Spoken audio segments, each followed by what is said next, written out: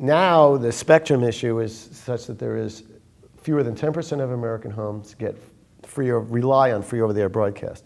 Uh, uh you know, over 80% have satellite, cable, internet, fiber, you name it, some combination.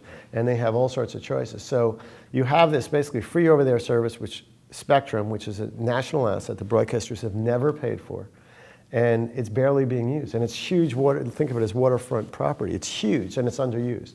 And broadcasters uh, are, you know, they don't want to give it up. And, and politically, it's very difficult for government to, to do that. So the concept came along in a bipartisan way that there should be what's called incentive um, voluntary incentive auctions. So it's voluntary. No broadcaster has to give up their spectrum, even though it's renewed every several years.